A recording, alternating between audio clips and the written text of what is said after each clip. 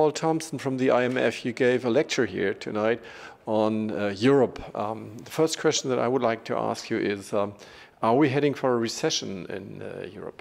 No, I don't think we are. Actually, I think we are seeing uh, a gradual recovery, or we will see a gradual recovery. I think what we saw last year will prove largely to be temporary.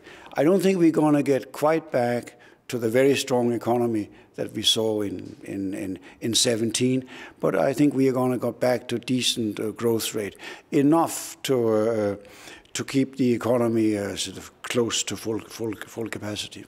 You express your uh, being in favor of a central fiscal uh, capacity for sort of a dampening facility for Europe. What does that mean? Well, it means that in a currency union, where monetary policy can only react to general uh, shocks that affect the whole, the whole, the whole currency union, that uh, it would be good to have a facility that assured in, against uh, sort of individual uh, risk, risk that faces in, in individual uh, country. That would sort of reduce the welfare cost uh, over the long run of participating in such in such uh, a currency union. But we recognize also that that risk sharing will trigger concern that it, that it will that it will involve one-way transfers. So one would have to only uh, introduce that if there at the same time is risk reduction. And the risk reduction is, in our view, uh, uh, that that countries should comply with the fiscal compact. Uh, so you can which, which, they don't. Some some do, many do. A few have struggled uh, uh, with it, and hopefully, this kind of of arrangement would then be an incentive for better compliance with the fiscal compact. Then there's also the discussion about uh, deposit insurance, which also means risk sharing. And, uh, you know, German Sparkassen are afraid that they should uh, uh waste their money somewhere in some southern European country. Of course, not in Denmark, but uh, that is pretty difficult for them to, to swallow. Well, I think here again, we think that uh, common deposit insurance is, is necessary to have a uh, to complete a banking uh, union.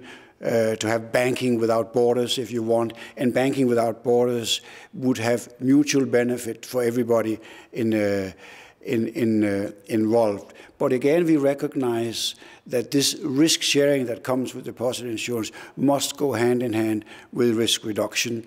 And uh, so we need to discuss what does that mean, and we need to have a quantified plan for this. But it's not just about risk sharing; it's also about risk reduction. Um, Germany is always under pressure from the IMF and uh, from other countries concerning uh, its spending policies. For example, uh, what you say is Germany has a fiscal space. That is a nice way of saying spend more. What, why exactly would you want us to do that? Because I think Germany has a, long, a, a number of structural challenges.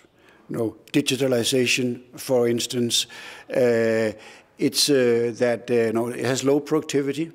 Actually, German, uh, and it has you know, demographic headwinds, uh, a number of issues that need to be structural issues that need to be solved in order to boost long-term growth. Some of these will obviously not entail a fiscal cost, but some of them will. And Germany has ample fiscal space to start addressing these problems. So I very much welcome actually that there's this debate in Germany about you know, digitalization, the future of the car industry. So Germany simply definitely can can can afford to uh, to put money behind uh, policies uh, in, in these areas provided that we do the right policies. Um, the next question is also on the current account uh, surplus that we are having. We're slowly coming down from 8% uh, to like 7.5 or something like that. Uh, but you don't advise us to be as high as that. Why is that? Uh, because it's a sort of global Im imbalances. It's not good for Germany. It's just a, it's a reflection of that Germany spent too little.